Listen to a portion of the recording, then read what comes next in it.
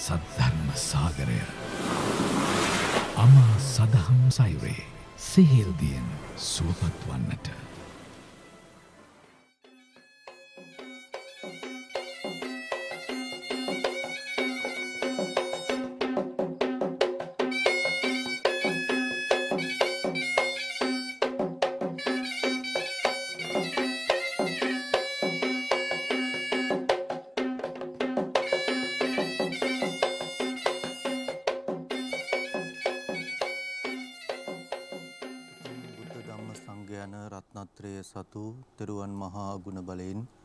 සුපින්වත් හැම දෙනාටම නිදුක් නිරෝගී සුව දීර්ඝායු වේවා.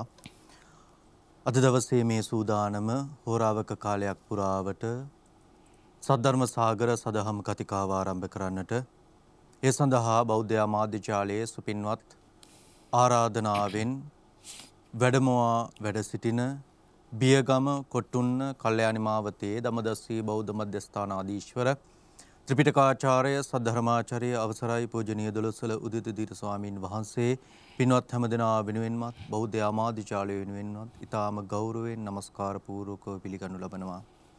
අද දවසේ මේ උතුම් සද්ධර්ම සාගර සදහම් කතිකාවතෙහි සුපින්වත් දායකත්වයේ දරනු ලබන්නේ පිටකෝට්ටේ රජමාවත පදිංචිව විසූ මීට වසර 7කට පෙර පරලෝ සැපත් විශ්‍රාමික නියෝජ්‍ය කම්කරු කොමසාරිස් ලයිනල් ගමගේ මහත්මා උදෙසා පුණ්‍ය අනුමෝදනාවන් සිදු කරන්නට ආදරණීය බිරිඳ අයිඑම් ස්වර්ණලතා මහත්මිය කැනඩාවෙහි පදිංචි වෛද්‍ය චමල් කලනක පුතුණුවන් ලේලිය තුෂාරා දිල්ලහනි මහත්මිය වගේම ගාල්ල බටදුව හිනිදුමි හිනිදුමිගොඩ පදිංචිව සිට මිට වසර 17කට පෙර පරලෝ සැපත් මුම්මල්ලගේ පේමසිරි මහත්මා නමින් ආදරණීය බිරිඳ වයිආර් ඉන්ද්‍රානි මහත්මිය දූ දරුවන් වන අනූෂා චමිලා ඔවිනී ක්‍රිෂාන්ත තුෂාරි සහ අසංක යන මහත්ම මාත්මීන් විසින් අද දවසේ මේ සද්ධර්ම සාගර සදහම් කතිකාවතෙහි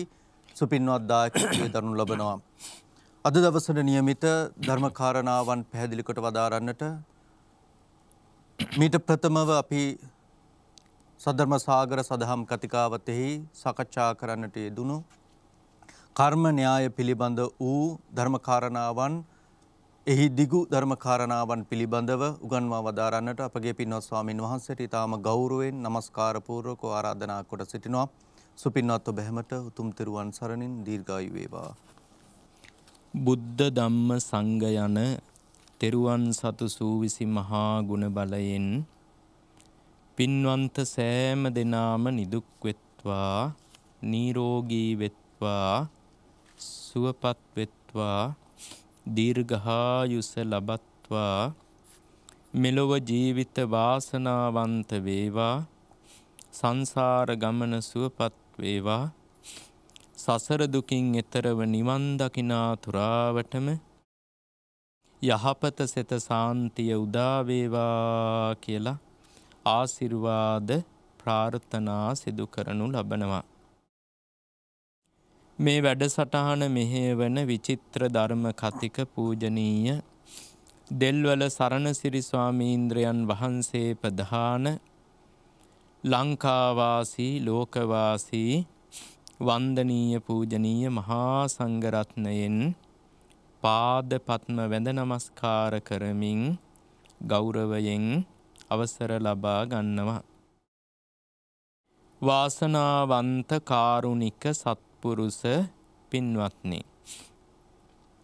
අද ඊ타මත්ම සද්ධාවෙන් ඊ타මත්ම ගෞරවයෙන් යුතුව තමන්ගේ ජීවිතයටත් පිනක් ඒක රාසි කර ගනිමින් තව ලක්ෂ සංඛ්‍යාත පිරිසකට බුදු බණ අහන්නට අවස්ථාව සලසා දෙමින් මේ උදාර පින්කමේ දායකත්වය දරමින් කටයුතු කරන්නේ පිටකෝට්ටේ රජමාවතේ පදිංචිව සිට මීට වසර හතකට පෙර අභාව ප්‍රාප්ත වූ විශ්‍රාමික නියෝජ්‍ය කම්කරු කොමසාරිස් ලයනල් ගමගේ මහත්මානන්ට පින් අනුමෝදන් කිරීම පිණිස එම මැතිනිය අයිම් ස්වර්ණලතා මහත්මිය එවගේම කැනඩාවේ පදිංචි වෛද්‍ය චමිල් කලනක පුතනුවන් ලේලියවන තුසාරි දිල්හානි මහත්මිය කියන සැදැහැති සත්පුරුස පිරිස දායකත්වයක් දරනවා. ඒ වගේම ගාල්ල බටදුව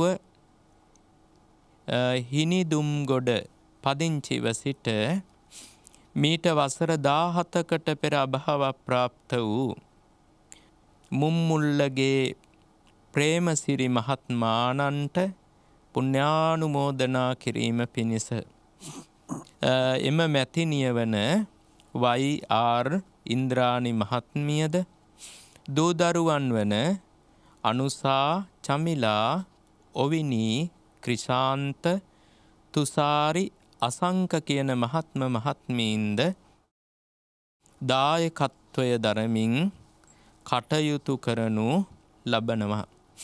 ඉතින් ඒ සැදැහැති සත්පුරුෂයන් හැම දෙනාම සතුරට පත්වෙන්ඩ. අද තමන්ගේ මිය පරලොවගිය ආදරණීය පියාණන් වහන්සෙල සිහිපත් කරලා පුුණ්‍යානුමෝදනා කරමින් ඔවුන්ගේ පරලෝක ජීවිතවලටත් සාන්තියක් යහපතක් ආසිර්වාදයක් සලසා දෙනවා. අපේ ජීවිතවලටත් මහේ සාක්‍ය කුසලයක් ඒක රාසි කර ගන්නවා.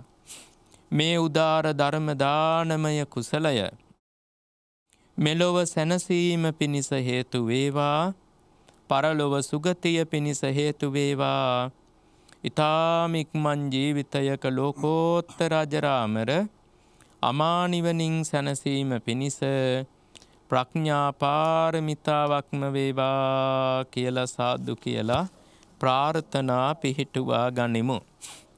අපි මේ වැඩසටහනෙන් කතා කරන්නේ සද්ධර්ම සාගරය ගැන.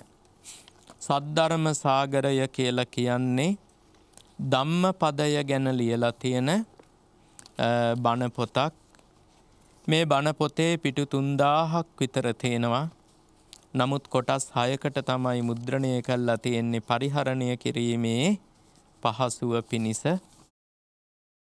මේ වෙනකොට අපි පිටු අටසිය තුනක් පැහැදිලි කල්ල අවසන් කල්ලා තියෙනවා පිටු අටසිය තුනක් මේ ග්‍රන්ථයේ මුල සිට පැහැදිලි කල්ල අවසන් කල්ලා තියෙනවා. අද අපිට තියෙන්නේ මේ ග්‍රන්ථයේ අටසිය හතරවන පිටුව පැහැදිලි කල්ලා දෙන්නට. ඉති මේක උගන්නන්නේ කර්මය පිළිබඳව. ඉතාම වටින මාතෘකාවක්නි කර්මය. කරමය කියලා කියන්නේ මොකක්ද කියලා දන්නවා. අපි කවුරුත් මහලා තියෙනවා චේතනාහං භික්කවේ කම්මං වදාමි. මහණෙනි චේතනාව තමයි කර්මය කියලා බුදුරජාණන් වහන්සේ දේශනා කළා. එනම් කර්මය කියන්නේ චේතනාව නැත්තං සිතුවිලි. අපේ හිත තුළ හටගන්න කුසල් සිතුවිලි සහ අකුසල් සිතුවිලි. ඒවට තමයි අපි කර්මය කියලා කියන්නේ. මේ කර්මය විපාක දෙන කාල වසයෙන් කොටස් හතරකට බෙදෙනවා. මංහිතන හැමෝම ඉගෙනගෙන තියෙනේවා මේවා පුංචි කාලෙ දහම් පාසලෙදී හෙමත් හැමෝම ඉගෙනගෙන තියෙනේවා. මේ කර්මය විපාක දෙන කාලවසයෙන් කොටස් හතරකට බෙදෙනවා. ඒ කොටස් හතර තමයි කවුරුත් දන්නවා දිට්ට ධම්ම වේදනීය කර්ම. දිට්ට ධම්ම වේදනීය කර්ම කියන්නේ මොනවටද? මේ ජීවිතයේදීම විපාක දෙන කර්ම වලට. ඊළඟට උපපජ්ජ වේදනීය කර්ම. උපපජ්ජ වේදනීය කර්ම කියන්නේ ඊළඟ ජීවිතයේදී විපාක දෙන කර්මවලට උපපජ්ජ වේදනීය. ඊළඟට අපරාපරිය වේදනීය කර්ම. අපරාපරිය වේදනීය කියලා කියන්නේ තුන්වෙනි ජීවිතේ පටන් නිවන් දක්නාතුරා විපාක දෙන කර්ම තියෙනවා. අපරාපරිය වේදනීය කර්ම. ඊළඟට තියෙන අහෝසි කර්ම කියලා. අහෝසි කර්ම කියන්නේ විපාක දෙන්නේ නැතුවම අවසන් වෙන කර්ම තියෙනවා. ඒවට කියන අහෝසි කර්ම කියලා. අපි දැන් බලමු මේ කර්ම පිළිබඳව ඉස්සෙල්ලාම දිට්ට ධම්ම වේදනීය කර්ම දිට්ට ධම්ම වේදනීය කර්ම එකන මේ ජීවිතයේ විපාක දෙන කර්ම හැබැයි මේ ජීවිතේ විපාක දෙන්න හේතු වෙන කර්ම මොනවද කියලා ඉස්සෙල්ලාම සිහිපත් කරගන්නට වටිනවා. මේ ඉස්සෙල්ලාම මේ මේ ජීවිතේ විපාක දෙන විශේෂ කර්ම තියෙනවද. එම විශේෂ කර්ම නෑ මේ ජීවිතය විපාක දෙන. අපි කරන හැම කර්මයකින්ම කොටසක් තියෙනවා මේ ජීවිතයේ විපාක දෙන. අපි කරන හැම කර්මයකම කොටසක් තියෙනවා. අර විශේෂයෙන් මෙන්න මේවා මෙන්න මේවා කියලානේ. දැන් මේ පින්කමෙත් අනිවාර්යෙන් කොටසක් තියෙනවා මේ ජීවිතේ විපාක දෙන. අපිට මේ මේ පින්කමෙත් කොටසක් තියෙනවා මේ ජීවිතේ විපාක දෙන කොටසක්. හැබැයි ඒ කොටස විපාක දෙන්නේ අවස්ථාවක් ලැබුණොත් විතරයි. අවස්ථාවක් ලැබුණේ නැත්තං එහෙම ඒ කොටස විපාක දෙන්නේ නැතුව යන අවස්ථාවක් ලැබුන් නැත්තං. විපාක දුන්නේ නැත්තං ඒ කොටසට මොකද වෙන්නේ. විපාක දුන් නැත්තං ඒ කොටස අහෝසි කර්ම බවට පත්වෙනවා අය ආත්මික කවදාවත් වෙන ආත්මිකාය වෙන ජීවිතයක විපාක දෙන්නේ නෑ. එනම් හැම පිනකම හැම පවකම අනිවාරෙන්ම කොටසක් තියෙනවා මේ ජීවිතයේ විපාක දෙන කොටසක්. එක හරියට මේ කොටස මොකක්ද කියලා අභිධර්මයේ පැහැදිලි කරලා දෙනවා. ඒක ටිකක් ගැඹුරු විස්තරයක්. නමුත් මං කෙටියෙන් හරි මතක තියාගන්න කියන්නංකෝ. දැන් කුසලයක් හරි අකුසලයක් හරි රැස්වෙන කාලයේදී මුලින්ම චිත්ත වීතීන් හටගන්නවා. චිත්ත වීතීන් ඒවා වෙන මිගෙන ගන්න ඕනි මාතෘකාවන්. ඉතින් මේ ඒක තියෙනවා ජවන වීතිය කියලා. මේ ජවන වීතිය කියන්නේ ජවන කියන්නේ දුවනවා කියන එකයි.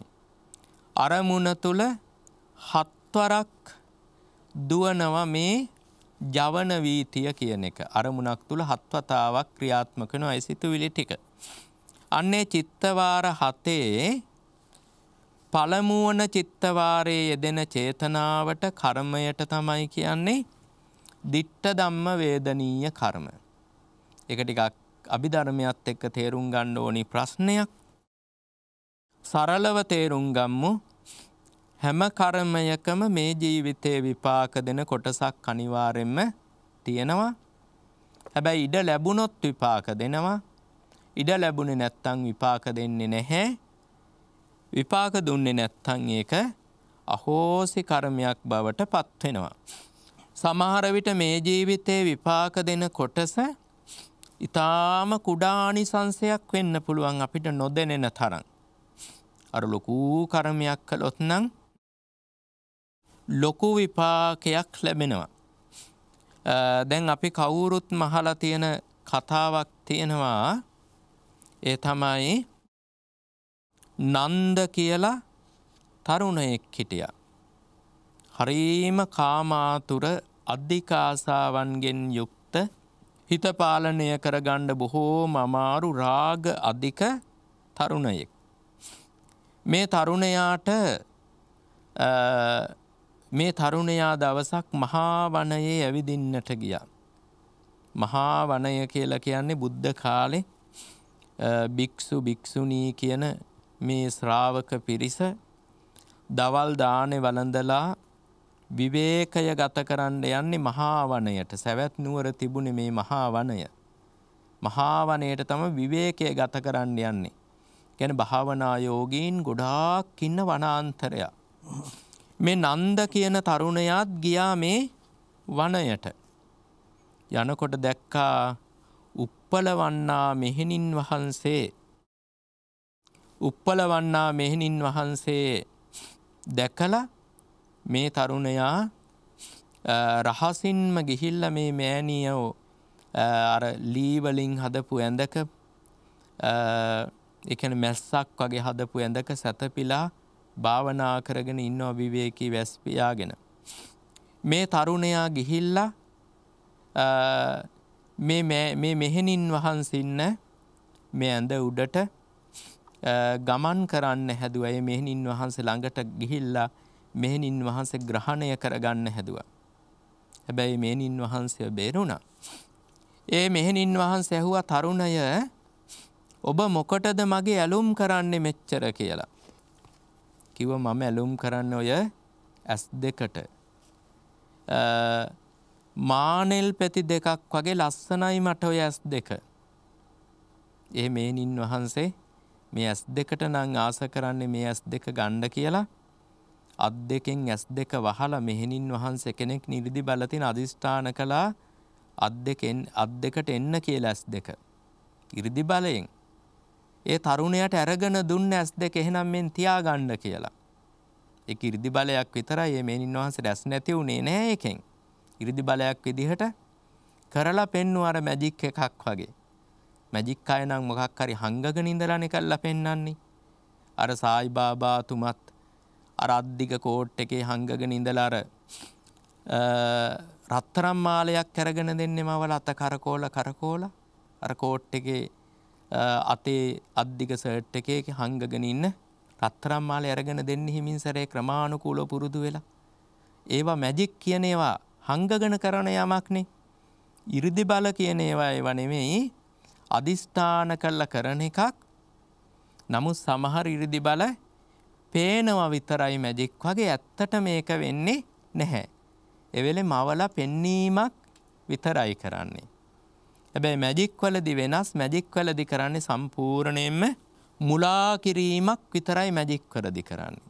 අර්ක කරන්නේ අදිෂ්ඨාන බලයෙන් යමක් කරලා පෙන්නීමක් ඉරිදි බලවලදි කරන්නේ. එකන්ද ඒ දෙකේ ලොකු වෙනසක් තියෙනවා. ඇස් දෙක අරගෙන දුන්නා. ඉතින් මේ තරුණයා අ, අර මෙහෙණින් වහන්සේ සමග වරදේ බෙදෙන් බැඳෙන්න ඒ මෙහෙණින් වහන්සේගේ ශරීරය තදින් අල්ලා ගත්තා. මේ වගේ නොයෙක් වැරදි ක්‍රියාවල යෙදෙන්න උත්සාහ කළා.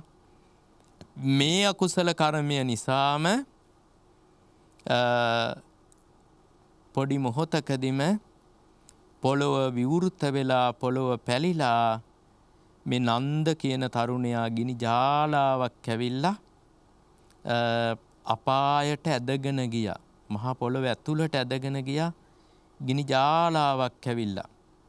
අන්න දිට්ට ධම්ම විපාකය අර භික්ෂුණියක් දූෂණය කරන්න ඒ භික්ෂුණියගේ ඇඳ උඩට නැගලා ඒ කරපු පාප කර්මය විපාක විදිහට අ, මෙලොවම අ, නිරයගාමී වුණා මේ නන්ද කියන තරුණයා. අන්න දිට්ට ධම්ම විපාක දරුණුවට ලැබෙන්නේ ඒ වගේ මහා ගුණවන්ත කෙනෙකුට අපරාධයක් කළොත් තමයි. දරුණුවට මෙලොවම පේන විදිහට ප්‍රකටවම ලැබෙන්නේ. ඒ වගේම නන්ද කියලා හරක් මරණ කෙනෙකුත් හිටියා. එයාට කියන්නේ නන්ද ගෝඝාතක ගෝඝාතක කියන්නේ හරක් මරණ කෙනානේ. මෙයා දවසක් හරකෙක්ගේ දිවක් ඇදලා හිටන් මුලින්ම කපා ගත්තා. දිවක් කපල හිටන් ගෙදර ගෙනහැල් නෝනට දුන්නා ඔන්න ඔය දිව අ, ඔන්න ඔය දිව අ, කපලා උයලා බැදලා ගේන්න කියලා. ඒගැන කිරට අත්තු යලා තෙලනුත් බැදලා ගේන්න ඔය දිව කියලා. ඊට පස්සේ මේ දිව ගෙනැල්ලා බත්පිඟානෙන් තියාගෙන දිව කන්න කල්පනා කළා. කල්පනා කරලා මේ දිව කණ්ඩ ඕනි කියලා දිවේ දිවර අර ගවයාගේ දිව කට ඇතුළෙන් තිබ්බහම දිවේ ගෑවෙනවනේ තමන්ගේ. ඒ දිවේ ගෑවෙනවත් එක්කම තමන්ගේ දිව ගැලවෙලා හිටන් බත්පිඟානට වැටුණා. කෙන එච්චර පාපයක් වෙලා තියෙනවා ඒ අවස්ථාව මේ ගව ගවයාගේ දිව කපා ගන්න අවස්ථාවේදී. ඒ විපාකය නිසා බත්පිඟානට වැටුණ තමන්ගෙ දිව. ඔය ඉස්සර මහාචාර්යවරයෙක් කෙටිය ඇතුමා මමත් දැකලා තියෙනවා දැම් මරණයට පත්වෙලා මේ මහාචාර්යතුමා වසර විස්සත් තිහක් වගේ දීර්ඝ කාලයක් තිස්සේ පරීක්ෂණයක් කළා.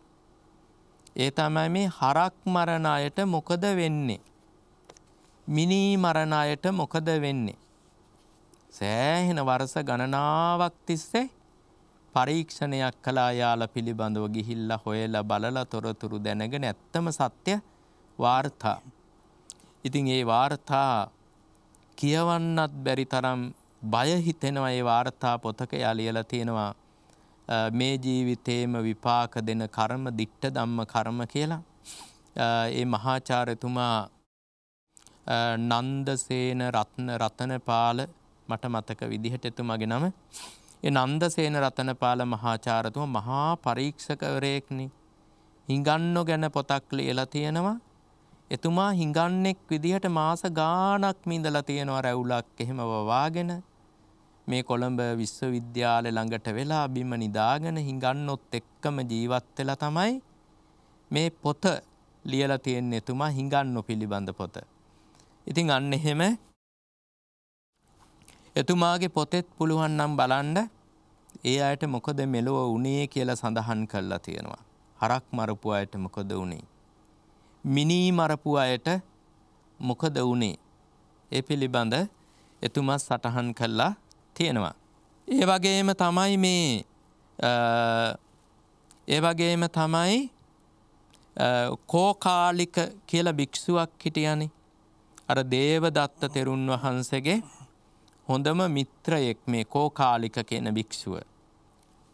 මේ කෝකාලික දවසක් සාරිපුත්ත ස්වාමින් වහන්සටයි මොග්ගල්ලාන ස්වාමින් වහන්සේටයි නින්දාපහාස කළා.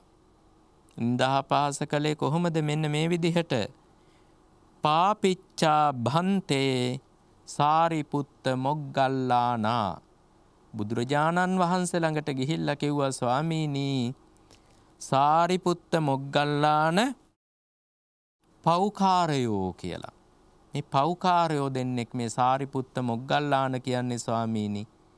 ඒ දෙන්නව ගණන් ගණ්ඩ එපා කියලා බුදුරජාණන් වහන්සට ගිහිල්ල ප්‍රකාශ කළා.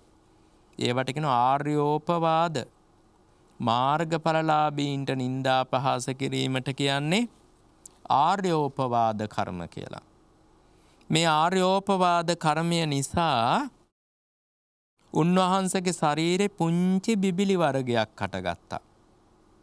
ටික දවසක් යැනකොට ඒ බිබිලි අර මේ බිබිලි තිබ්බොටු ගැඩි වගේ ප්‍රමාණයට ලොකු වුණා. තව ටික දවසක් යනකොට නෙල්ලි ගැඩි ප්‍රමාණයට වගේ ලොකු වුණා. තවත් කලක් යනකොට බෙලි ගැඩි වගේ ලොකු ගෙඩි හැදුනා. ඒව හැදිලා පැසවලා පුපුරලා සැරව ගලන්න පටන් ගත්තා. අන්තිමට ඒකෙන්ම තමයි මරණයට පත්වෙලා නිරයේ උපත ලැබුවේ. අන්න බලන්ඩ ආර්යෝපවාද කුසල කර්මය මෙලෝම විපාක දෙන එකක්. ආර්යෝපවාද කුසල කර්මය. ඒ වගේම කුසල් පැත්තෙත් තියෙනවා දිට්ට දම්ම වේදනීය කරම. ඒවැනුත් අර ප්‍රබලෝ විපාක දෙන මහා ප්‍රබල කුසලයක් කර ගත්තොතින් විතරයි. අර පුන්න කියලා දුගියෙක් හිටියනේ. ඒ දුගියා දවසක් කුඹුර කොටන්නට ගිය. කුඹුරු කොටන්නට ගිය අතරතුර මිසාරිපුත්ත ස්වාමින් වහන්සේ වැඩම කළා. මේ පුන්න කියන දුගියා තමන්ගේ කුඹුර කොටන්නේ. ගහකින් පුංචි කෝටු කෑලි දෙකක් කපලා මේ ස්වාමින් වහන්සට පූජ කළා. උදේමයි වැඩම කළේ. මොකද මේ පුංචි කෝටු කෑලි දෙකක් පූජ කළේ. උන්වහන්සට දත්මදින්න දැහැටි දඩු විදිහට. ඉස්සර ඉතිං බුරුසු තිබුණෙ නෑනෙ. දැහැටි දඩුවලින්නේ දත්මදින්නේ දැහැටි දඩු දෙකක් හදල පූජ කළා. පැන් එකක් කැරගෙනත් පූජ කළා. ඊට පස්සේ කුඹුර කොටන්න පටන් ගත්තා. සාරිපුත්ත තෙරුන් වහන්සේ වැඩි ආපහු. වඩිනකොට ඒ පුන්න දුගියාගේ නෝන භාර්යාව කෑමැරගෙන එනවා මහත්තයට. සාරිපුත්ත ස්වාමින් වහන්සේ මගදි දැක්කා. දැකලා හිටන් මේ කාන්තාව බොහෝම සද්ධාවන්තයි. පූජ කළා මහත්තයට ගෙනියන ආහාර පාන ටික සාරිපුත්ත තෙරුන් වහන්සේට. ඊට පස්සේ ගෙදර ගිහිල්ලා ආයෙමත් උයාගෙන ආව දැන් හොඳටම දවල් වෙලා. පුන්න දුගියත් කුඹුර කොටලා මහන්සි වෙලා බඩගින්න වැඩි වෙලා ගහක් යටට වෙලා නිදාගෙන ඉන්නවා. නිදාගෙන ඉන්නකොට කාන්තා වෙනවා භාර්යා වෙනවා කෑම ටික අරගෙන ඈත තියාම කිව්වනේ ස්වාමීනි සමාවෙන්න සාරිපුත්ත ස්වාමින් වහන්සේ හම්බ වුණා ඔබ ඔබතුමාට ගෙනාපු ආහාර ටික උන්වහන්සේට පූජා කළා කේන්ති ගන්න නම් එපා කියලා කිව්වා. පින් අනුමෝදන් වෙන්න කිව්වා. ඇයි බණී කියලානේ හිතුවේ? පුන්න දුගිය ප්‍රකාශ කළ අනේ කොයි තරම් පින්කමක්ද මමත් උන්වහන්සේට උදේ දැහැටි දඬුයි ඇල්පැනුයි පූජා කළා උන්වහන්සේට දත් මැදලා මූණ සෝද ගන්න දැහැටි දඬු පූජාවක් කරගත්තා. ඉතින් මේ පුන්න අර භාර්යාවගෙන ආහාර පාන ටික අරගෙන භාර්යාවගේ උකුලේ මොළුව තියාගෙන ටික වෙලාවක් නිදාගත්තා. භාර්යාවත් බිම වාඩි වෙලා ඉන්නවා. පුන්න දුගියත් එයා ගොළුවෙන් තමන්ගේ උකුලෙන් ඒ නෝනගේ උකුලෙන් තමන්ගේ ඔළුව තියාගෙන නිදාගත්තා. ටිකක් වෙලා නිදාගෙන ඉඳලා ඇහැරියා. ඇහැරිලා බලනකොට පුන්න දුගියට පෙවුනා අර කොටපු පස් ටික. කුඹුරේ පස් කොටනවානේ කොටනවා කියලා කරන්නේ. උදැල්ල ගහලා අනිත් පැත්ත ගහන එකනේ පස් පිඬු ටික. කොටනවා කියලා කරන්නේ ඒක උදැල්ල ගහලා අනිත් පැත්ත ගහනවා. වැඩිය පොළව හාරන්නෙත් නෑනේ දැන් අර මැසින් වලින් වගේ. එමනේ එහෙම නැත්තම් ඊට පස්සේ කරන්නේ ගවයන්ට කියලා පාගවනවා. ගවයන්ට කියලා පාගවනවා කියන්නේ ඉස්සෙල්ලාම හොඳට වතුර බඳිනවා කුඹුරට වතුර පුරවලා තියනවා ලියදිවලට. පොඩ්ඩක් අර තනකොළ ගස් ටික කුණු වෙන්න පල් වෙන්න වගේ කිට්ටු වෙනකොට තමයි ගවයෝ එක්කගෙන යන්නේ ඒකේ බැඳලා.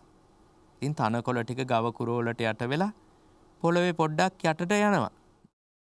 අමු තනකොළ නෙවෙයි ටිකක් තැම්බිච්ච තනකොළ. ඉතින් ඉක්මනටම පෝර වෙනවා ඒ ටික. ඒ තැම්බිලානේ තියෙන්නේ පොළොව යටට ගිහිල්ලා.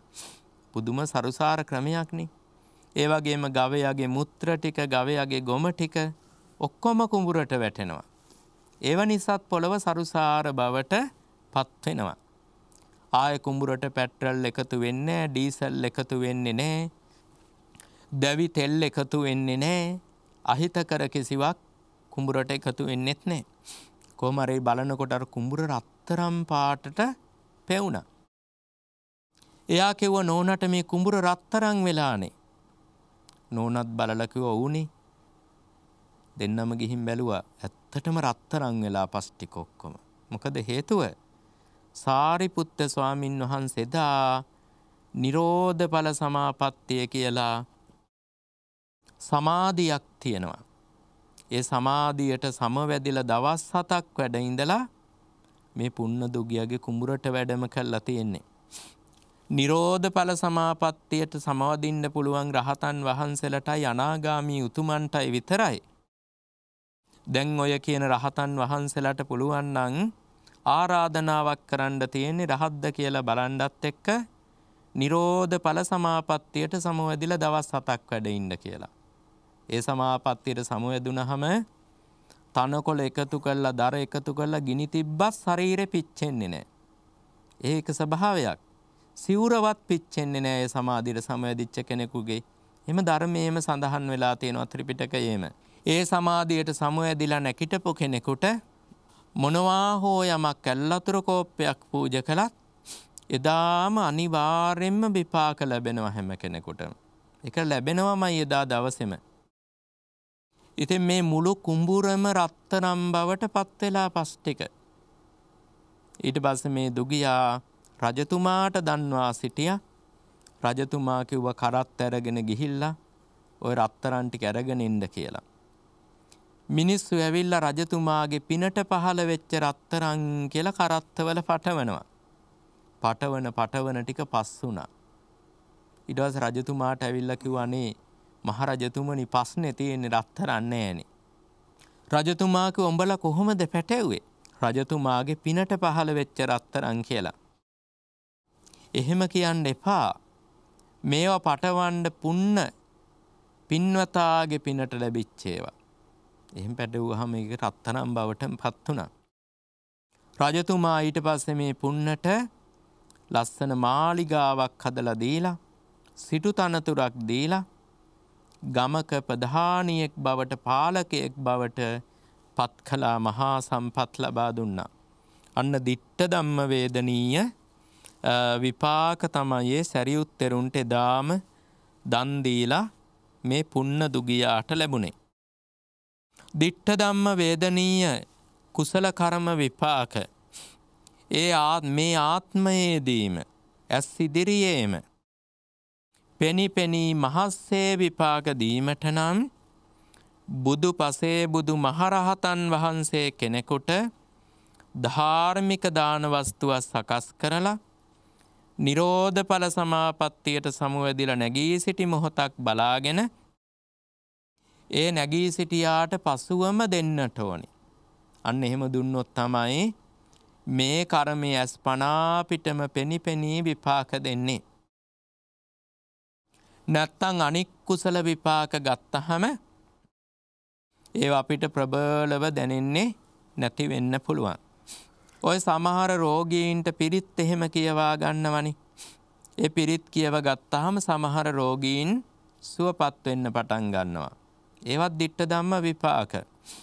ඒ වගේම බෙහෙත් අහන්නේ නැති අයට බොහෝම සද්ධාවෙන් ගෞරවයෙන් සීලවන්ත කෙනෙකු ලවා පිරිත් කියව ගත්තහම බෙහෙත් අහන්න පටන් ගන්නවා. ඒ දිට්ට ධම්ම විපාක විදිහට තමයි ඒවා ලැබෙන්නේ.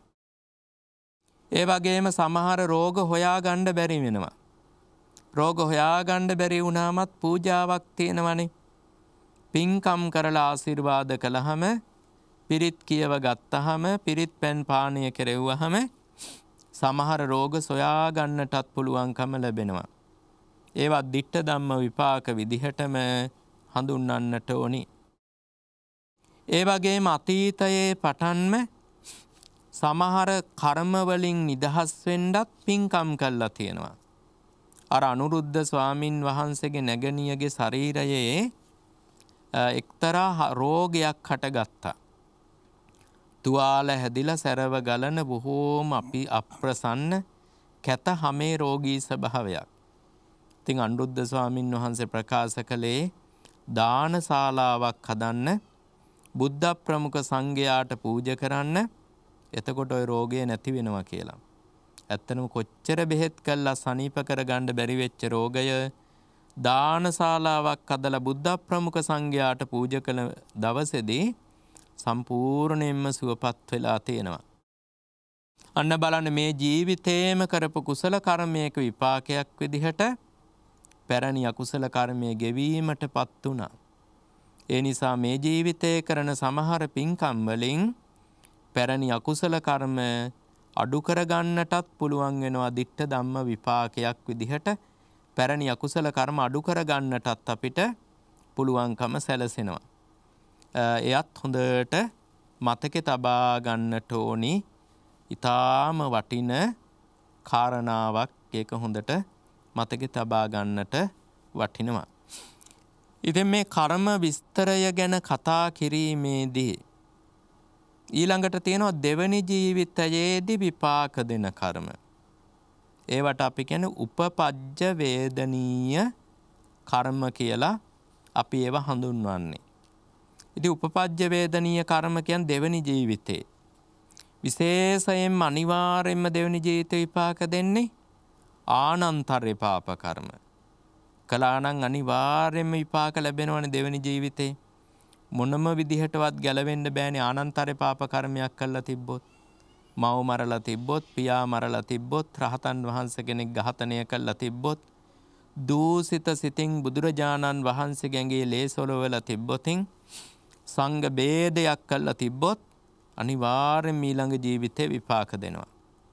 ඒ ඇරුණහම තවත් ඊළඟ ජීවිතේ අනිවාර්යයෙන්ම විපාක දෙන කර්ම තියෙනවා. අර ප්‍රධාන වශයෙන්ම දක්වන්න පුළුවන්කම තියෙන්නේ ආනන්තරේ පාප කර්ම. එහෙම නැතුව අනික් ඒවා අනිවාර්යයෙන්ම ඊළඟ ජීවිත විපාක දෙයි කියලා අනිවාර්යයෙන්ම සඳහන් කරන්න ස්ථීර කරලා කියන්න අමාරු යනික් කර්ම පිළිබඳව. අපි නම් සමහර වෙලාවට හිතනවා මෙන්න මේක කළොත් නම් ඊළඟ ජීවිතේ හොඳ තැනක අනිවාර්යෙන් ඉපදෙයි කියලා. එහෙම කර්මයක් නෑ. එහෙම එකක් තියෙනවා නම් ඉතින් ඕනි පව් කරගත්ත කෙනෙකුට පුළුවන්නේ. අර අර ඊළඟ ජීවිතේ අනිවාර්යෙන් සුගතිය උපදින පින්කම කරගන්න පුළුවන් අන්තිමට මුළු දේපොළම විකුණලා හරි. එහෙම එකක් නෑ. සමහර අය හිතන් ඉන්නවා මෙන්න මේක කළොත් නම් ඊළඟ ජීවිතේ අනිවාර්යෙන්ම සුගතියේ උපදී කියලා. ඉස්සර කැලණිය ගැනත් හිතන් ඉඳලා තියෙනවනේ. අර තියල් තින උපන්දා සිට කරපු පව් නැත වරක් වැන්දොත් කැලණියේ කියලා දැනටත් ගලක කොටලා තියෙන අර නැගෙනහිර දොරටුවෙන් කැලණියට ඇතුල් වෙනකොට. ඉතින් ඒ කැලණිය කියන්නේ බොහෝම පූජනීය පිම්බිමක්. නමුත් අර එක්කෙනෙක් ලියපු කවි පදයක් විතරයි. නැත්තම් පව්කාරයෙක් අන්තිමට කැලණියට එක්කගෙන ගිහලා වන්දෝගෙන එක්කගෙන ආවොතින් පව් ටික හේදිලා යන්නේ, ගෙවිලා යන්නේ, අවසන් වෙලා යන්නේ නම් නැහැ. ඉතින් ඒ වගේ සමහර පින්කම් ගැන මිනිස්සු හිතන් ඉන්නේ මේ පින්කම් කළාම ඔක්කොම පව් ටික ගෙවිලා අනිවාර්යෙන්ම හොඳ තැනක ඉපදෙනවා කියලා. හැබැයි එහෙම පින්කමක් නම් නෑ ලෝකේ. එක මතක තියාගන්න ඕනේ. එම පින්කමක් තේනම් බලන්න ධර්මාශෝක රජතුමා තරහෙන් මැරිලා හිටන් පෙරේතෙක් වගේ ශරීරයක් ශරීර පිඹුරෙක් වගේ ශරීරයක් තියෙන පෙරේතෙක් වුණානේ. පන්සල් කීයක් හැදුවද? දුවයි පුතයි දෙන්න මහාන කළා. කටින පින්කම් කීයක් කරන්න ඇද්ද? ඉතින් එහෙම කළත් අපායට ගියානේ. ඒකෙන් පේනවනේ මොනම පින්කමක්වත් නැහැ කියලා අනිවාර්යෙන් ඊළඟ ජීවිතේ අපායෙන් ගැලවෙන්න පුළුවන්. මොනම පින්කමක්වත් නැහැ කියලා. එම් පින්කමක් තිබ්බනම් පන්සල් හදපු කටින පින්කම් කරපු දුවයි පුතයි මහාන කරපු ඒ රජතුමාට ඒ වගේ අවාසනාවන් තිරනමක් කවදාවත් මත් වෙන්නේ නැහැනේ. ඉතින් අද දවසේ අපි උපපජ්ජ වේදනීය කර්මය පිළිබඳවත් මේ විදිහට සඳහන් කරලා දෙනවා. ඊළඟට ලබන සතියේ තවදුරටත් අපි කර්මය පිළිබඳව සාකච්ඡා කරමු. අද දවසේත් මේ හෝරාවක කාලයක් පුරාවට ලෞතුරා බුදුරජාණන් වහන්සේගේ මහෝත්තම සද්ධර්ම දේශනාවන්නේ මේ ධර්මස්කන්ධෙහි අඩංගු ඉතාම සුවිශේෂී ධර්මකාරණාවන් පෙළක් සාකච්ඡා කරන්නට පැහැදිලිකට දෙන්නට කටයුතු කළේ විශේෂයෙන් කර්මය පිළිබඳව පවතින දුර්මතයන් විසඳීම පිණිසත් මෙය මහෝපකාරී වෙතයි කියන කල්පනාව ඇතිව. ඒ සඳහා විශේෂයෙන් මේ උතුම් සද්ධර්ම සාගර සදහම් කතිකාවතෙහි ධර්මානුශාසනාව සිදු කරන්නට ධර්මකාරණාවන් පැහැදිලි කොට වදාරන්නට වැඩමවා වැඩ වැඩමවා වදාලේ බියගම කොට්ටුන්න කල්යාණි මාවතේ දමදස්සී බෞද්ධ මධ්‍යස්ථානාධීශ්වර ත්‍රිපිටකාචාර්ය සද්ධර්මාචාර්ය. අවසරයි පූජනීය දොළසල උදිතදිර ස්වාමින් වහන්සේ. උන්වහන්සේ හටත් මේ උතුම් ධර්ම දානමය කුසලයේ අපි එක්සිත අනුමෝදන් කරමු. අනුමෝදන් වෙත්වා. උන්වහන්සේට නිදුක්ව නිරෝගීව බොහෝ කල් චිර ජීවනයෙන් යුතුව ශාසනික කටයුතු කරන්නට ධර්ම කාරණාවන් ප්‍රඥාවන් උපදවා ගැනීම පිණිස පාට උපකාර කිරීම පිණිස මේ ධර්ම පාරමිතාවක්ම වේවා කියනකා ප්‍රාර්ථනාවත් ඇතිව අපි පුණ්‍ය අනුමෝදනාවන් සිදු කරමු. ඒ වගේම අද දවසේ මේ උතුම් සද්ධර්ම සාගර සදහම් කතිකාවතෙහි සුපින්වත් දායකත්වයේ දරනු ලබන්නේ පිටකෝට්ටේ රජමාවත පදිංචිව විසූ මීට වසර 7කට පෙර පරලෝ සපත් විශ්‍රාමික නියෝජ්‍ය කම්කරු කොමසාරිස් ලයනල් ගමගේ මහත්මා උදෙසා පුණ්‍ය අනුමෝදනාවන් සිදු කරන්නට ආදරණීය බිරිඳ අයිඑම් ස්වර්ණරතා මහත්මිය කැනඩාවේ පදිංචි වෛද්‍ය චමිල් කලනක පුතුණුවන් ලේලිය තුෂාරි දිල්ලහනි මහත්මිය කියන පින්නතුන් වගේම ගාල්ල බටදුව හිනි දුමිගොඩ පදිංචිව සිට මිට වසර 17කට පෙර පරලෝ සැපත් මුම්මුල්ලගේ ප්‍රේමසිරි මහත්මාට පුණ්‍යානුමෝදනා පිණිස ආදරණීය බිරිඳ වයි.ආර්. ඉන්ද්‍රාණි මහත්මිය දූ දරුවන් වන අනූෂා චමිලා ඔවිනී ක්‍රිෂාන්ත තුෂාරි සාසංක යන දූදරුවන් විසින් මේ සුපින්වත් දායකත්වයේ දරනු ලබනවා. ඒ පින්වත් හැම දෙනාට සුජීවත් වාසය කරන සිළු දෙනාට ආශිර්වාදාත්මකව පුණ්‍ය අනුමෝදනාවන් සිදු කරන්නට මිය පරලෝකීය ඇත්තන්ට පින් අනුමෝදන් කිරීම පිණිස ස්වාමීන් වහන්සේට තාම ගෞරවයෙන් ආරාධනා කර සිටිනවා. සුපෙන්වත් ඔබ හැමට තෙරුවන් සරණින් නිදුක් නිරෝගී සුව චිරජීවනයේ වේවායි ප්‍රාර්ථනාවද සමගින්. අද ඊ타මත්ම සද්ධාවෙන් ගෞරවයෙන් මේ උදාර පුණ්‍ය ධර්මයෙහි දායකත්වය දරමින් තමන්ද ධර්මයෙන් සැනසෙමින් විශාල පිරිසකට ධර්මයෙන් සැනසීමේ වාසනාව උදා කර දෙමින් පින් රැස් කරගත්තේ සැදැහැති සත්පුරුෂයන් පිරිසක්. පිටකෝට්ටේ රජමාවතේ පදිංචිව සිට මීට වසර හතකට පෙර අභාව ප්‍රාප්ත වූ විශ්‍රාමික නියෝජ්‍ය කම්කරු කොමසාරිස්තුමන් ලයනල් ගමගේ මැතිතුමන් සිහිපත් කරලා. එතුමන්ට පුණ්‍යානුමෝදනා කිරීම පිණිස. ආදරණීය ස්වාමි දියණිය අයිම් ස්වර්ණලතා මහත්මියත්. ඒ වගේම කැනඩාවේ පදිංචි පුතනුවන් වෛද්‍ය චමිල් කලනක මහත්මා එවගේම ලේලිය තුසාරි දිල්හානි මහත්මියත් දායකත්වය දරනවා. ගාල්ල බටදුව හිනිදුම් ගොඩ පදිංචිව සිට මීට වසර දාහතකට පෙර අභාව ප්‍රාප්ත වූ මුම්මුල්ලගේ ප්‍රේමසිරි මහත්මානන්ට පුණ්‍යානුමෝදනා කිරීම පිණිස. එම ආදරණීය ස්වාමි දියණිය වයිආර් ඉන්ද්‍රාණි මහත්මිය.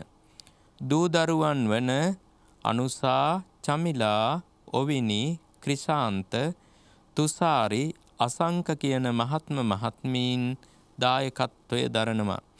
මෙම පින් අනුමෝදන් කරන්නේ මෙම පියවරුන් පින් ලබාගත හැකි ස්ථානයක පින් බලාපොරොත්තුවෙන් පසුවේ නම් මේ පින් අනුමෝදන් වේවා. එයාගේ පරලෝක ජීවිත වාසනාවන්ත වේවා. සැප බහුල වේවා. සංසාර ගමන සුවපත් වේවා. සසර දුක්ගිනි නිවේවා. ඒ පියවරුන්ට ලෝකෝත්තරමා නිවනින් සැනසෙන්න මේ පින් හේතුවාසනා වේවා කියල සාදු කියල ප්‍රාර්ථනා කරමු. ඒ වගේම සුජීවත්ව සිටින අයිම් ස්වර්ණලතා සහ වයිආර් ඉන්ද්‍රාණි යන මෑණිවරුන් දෙ දෙනාටත් මේ පින් බලෙන් තෙරුවන් ගුණ බලෙන් නිදුක් නිරෝගි සුව ලැබේවා දීර්ඝායුෂ ලැබේවා සුවසේම ජීවත්වෙන්ඩ පහසු විහරණ සැලසේවා කියලා ආසිර්වාද කරනවා. ස්වර්ණලතා සහ ඉන්ද්‍රාණි මහත්මීන් නමින් මිය පරලෝස පරලෝ සැපත් මව්පියන් වන DAA මල්ලිකාරච්චි ඥානවතී ජයසිංහ සහ වයිආර් මැන්ඩිස්සප්පු සීලවතී වන්නිආරච්චි කියන මෑණිවරු පියවරුන්ටත් පරලෝ සැපත්. ඔවුන්ගේ සියලුම සහෝදර සහෝදරියන්ටත් නම් සඳහන් නොකළ ඥාතීත්වය දරා පරලෝ සැපත් හැම දෙනාටමත්. පෙරාත්ම භාවවලදී මිය පරලව ගිහිල්ල පින් අනුමෝදං වෙන යම් කෙනෙක් ඉන්නවනන් ඒ හැම දෙනාටමත් මෙ පින් ලැබේවා. ඒ හැම දෙනාගෙමත් පරලෝක ජීවිත වාසනාවන්ත වේවා සැප බහුල වේවා සසර සුවපත් වේවා සසර දුකින් අත්මිදේවා ලෝකෝත්තරමා නිවනින් සැනසීම ලබත්වා කියල ප්‍රාර්ථනා කරමු. ඒ වගේම බෞද්ධයා මාධ්‍ය ජාලයෙහි සභහපති අති ගෞරවනීය බොරලන්දේ වජිරඥාන නායක ස්වාමීන්ද්‍රයන් වහන්සේටත් කාර්ය මණ්ඩලයටත් මේ වැඩසටහන මෙහෙවන ස්වාමීන්ද්‍රයන් වහන්සේලාටත් මේ දායකත්වය දරණ පින්වත් හැම දෙනාටත් බනාසන ලංකාවාසී ලෝකවාසී සියලු සත්පුරුෂයන්ටත් විදේශගතව විසෙන කවිනු සහ ඩියෝන් කියන මුණුබුරන් දෙදෙනාටත් සියලුම මුණුබුරු මිනිබිරියන්ටත් අධ්‍යාපන කටයුතු සාර්ථකවීම පිණිස ආසිර්වාද කරනවා. ඉතින් ඒ හැම දෙනාටමත් මේ පින් අත්වේවා. මෙපින් බලෙන් තෙරුවන් ගුණ බලයෙන් දෙවියන්ගේ ආසිර්වාද රැකවරණ බලයෙන් සියලු දෙනා නිදුක්වෙත්වා නීරෝග වෙත්වා සුවපත් වෙත්වා දීර්ඝායුස ලබත්වා. ආයුසයෙන් වැඩෙත්වා ශරීරවරණයෙන් වැඩෙත්වා නිරෝගි සැපයෙන් වැඩෙත්වා කායික බලයෙන් වැඩෙත්වා ප්‍රඥාවෙන් වැඩෙත්වා ගුණයෙන් නුවනින් යසයිසුරින් සැප සම්පතින් දනදහාන්නයෙන් වැඩෙත්වා. මෙලොව ජීවිත වාසනාවන්ත වේවා. පරලෝක ජීවිත සුගතිගාමී වේවා. සසර ගමන සුවපත් වේවා.